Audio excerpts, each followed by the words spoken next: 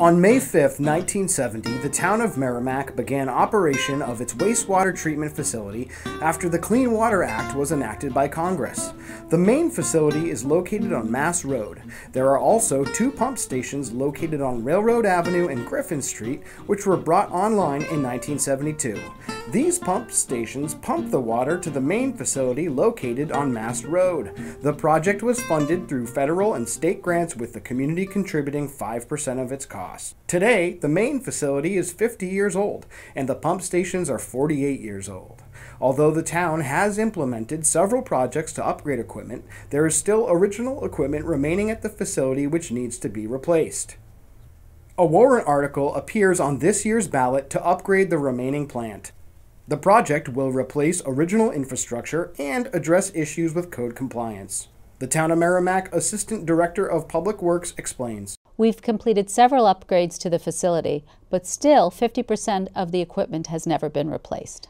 This project has several goals, which includes replacing nearly 50 year old equipment and to address issues with code compliance, such as the American with Disabilities Act and electrical code compliance.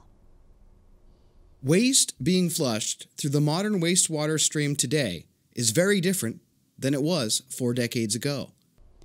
Flushable wipes do not disintegrate before reaching the wastewater treatment facility. Last year, a screenings facility was approved.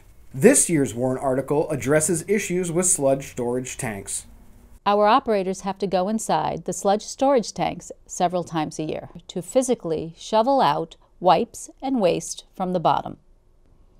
The tanks are 17 feet deep, and the employees are exposed to sewer gases while they're inside. We are planning to lower the height of the tanks by 4 feet and change the configuration of the tops of the tanks to allow for removal of the waste using a vacuum truck. This will minimize the need to go inside the tanks. In addition to sludge storage tanks, the warrant article will include upgrades to the Headworks building, the compost facility, and many other components at the main facility. Last year's warrant article allowed us to complete the design and a portion of the construction project. This year's warrant article will allow us to complete additional work. Upgrades to the sludge storage tanks to address safety issues, as discussed, updates to the Headworks building and the chlorination building to meet current state and federal codes and to replace outdated, obsolete equipment, piping, and valves. This includes replacement of the original emergency generators and complying with ADA requirements.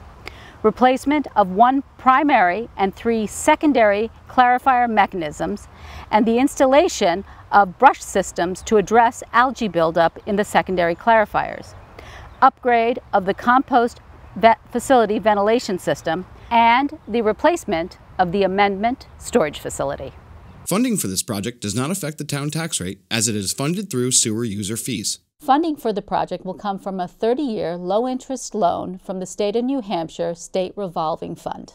No taxes are used to pay for the facility or any of our capital improvements. The funds come from our sewer user fees. By completing the project, we will be able to continue to provide uninterrupted service to our ratepayers. We will also maintain compliance with our EPA discharge permit. This project will allow us to gain efficiencies in our operations by reducing operating costs.